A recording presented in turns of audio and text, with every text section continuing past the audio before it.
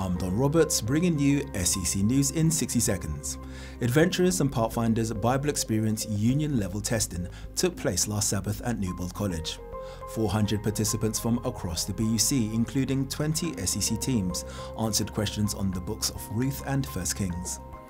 SEC Men's Ministries concluded its three day retreat at the Hay's Wood site last Sunday. 55 attendees explored the theme Real Men Embracing God's Presence with evangelist Ray Patrick and NEC pastor Andrew Rashford Hewitt. The SEC President's latest video update highlighted the first face to face conference workers meeting held since the lifting of COVID restrictions.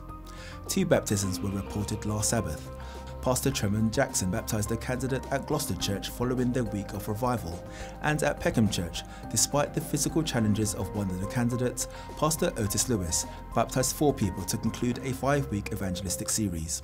Thanks for watching. See you next week.